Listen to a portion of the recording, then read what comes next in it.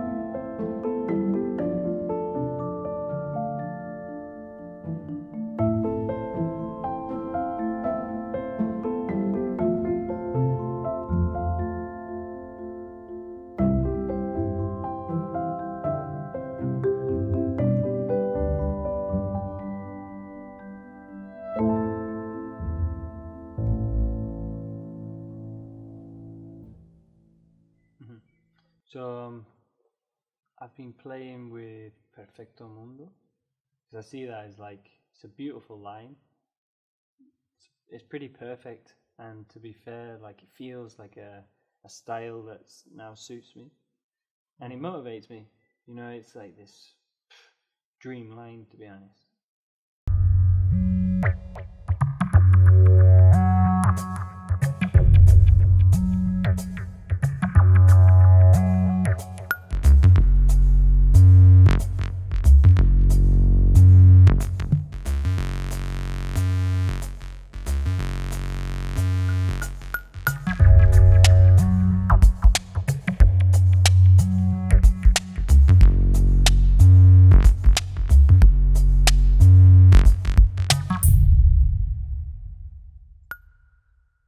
And the other project that I'm trying is another route that I bolted in the same crag in Finestra sector.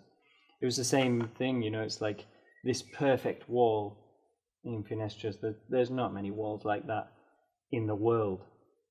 And to have your own route there is, you know, that's huge, you know.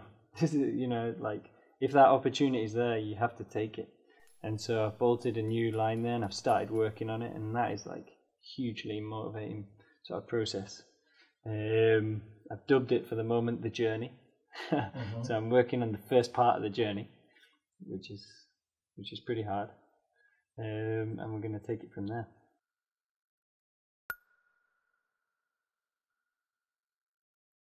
Sabes que yo, yo puse las primeras chapas en ese día, encima de ese árbol, y, se- y en el proceso se cayó el árbol.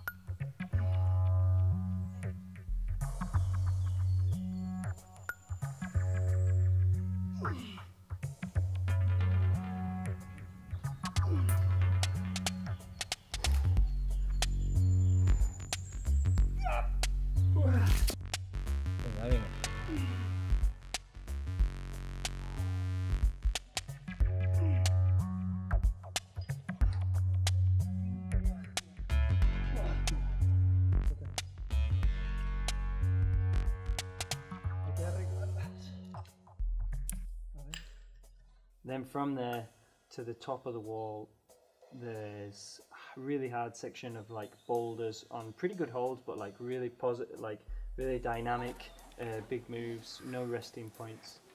Um, up to a really vicious move off a like a small mono, um, which I haven't managed to do yet. And I think like it's by far harder than the mono move on Perfecto Mundo. So it's, it's going to be hard.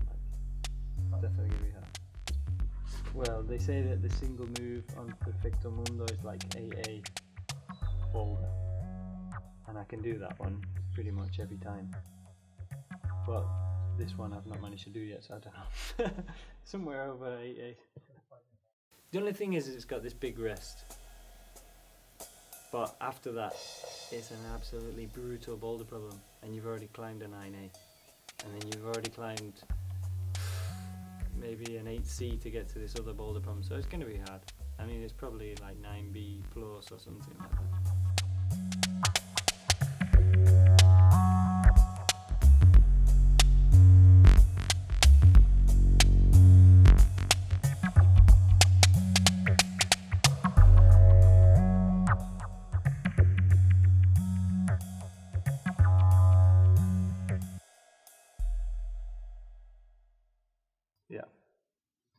Totally addictive.